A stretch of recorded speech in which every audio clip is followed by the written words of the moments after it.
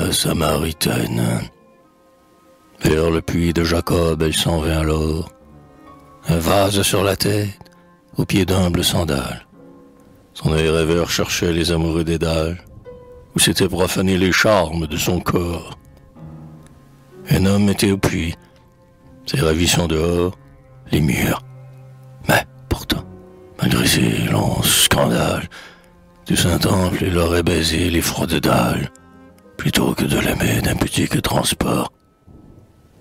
Passant mystérieux venu de la Judée, il lui parla longtemps. Elle l'a dégradé, se sentait défaillir sous l'œil qui la scrutait. Comment voyait-il donc tant de choses en elle? Était-il le prophète? En vain elle luttait. Des pleurs de repentir luirent dans sa prunelle.